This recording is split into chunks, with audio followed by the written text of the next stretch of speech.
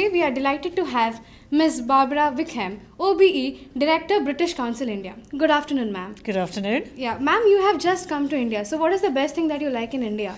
So, I've been in India a little over two months, Okay. and one of the things that's really struck me is uh, the diversity of the country. And of course, the culture is very, very well known.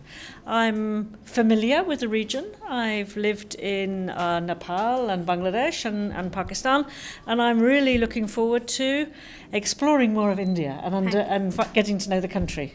So, ma'am, what are the programs that are being planned by the British Council for the students this year? So we have a range of programs. Um, a lot of what we do focuses on young people. So whether young people want to, you know, have all of the best of life chances, and uh, we work with schools like your wonderful school here, making sure that uh, together we can uh, provide the best opportunities. Thank you, ma'am. And then, are there any national events that we students will take part? National events. Yeah. So um, for uh, we have a whole range of programs uh, in Kolkata in November. We have uh, lots of un- UK universities who are going to come, and that's an opportunity for students who are interested in studying in the UK. Um, we have programs that enable uh, people like yourselves to uh, participate in, in a whole range of different uh, events. Thank you, ma'am. I would like to call Jayanti, who also wants to ask you some Okay, questions. all right. Thank you. Thank you very much. Uh, I would like to ask some questions. What changes would you like to bring in the school program of the British Council? So, we've been learning today uh, from your principal about the wonderful partnership that British Council and SAI has had over very, very many years. And we really value that partnership because it enables us to understand what you, young people, the future, and teachers um, would like to include in their school programme.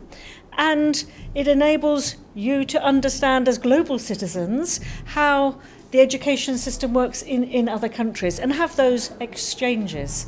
And we'd really like to do more of those kind of programmes and hope that SAI will continue to partnership, partner with the British Council. Ma'am, uh, you visited our school. What did you like about our school?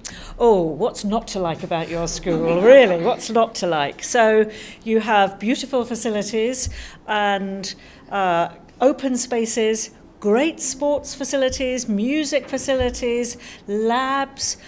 Actually, you're very lucky young people. Ma'am, would you like to give some words of uh, wisdom to our SAIoneers?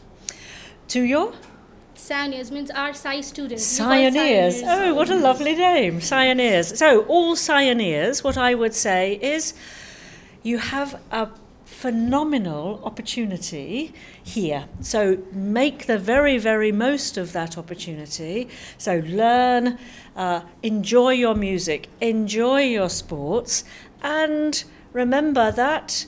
As a privileged member of society, it's always our duty to give back to other members of society who are perhaps less fortunate than ourselves. Ma'am, thank you so much to give us the precious time. Thank you so much. Thank you very much. I've really enjoyed it. Thank you for inviting me.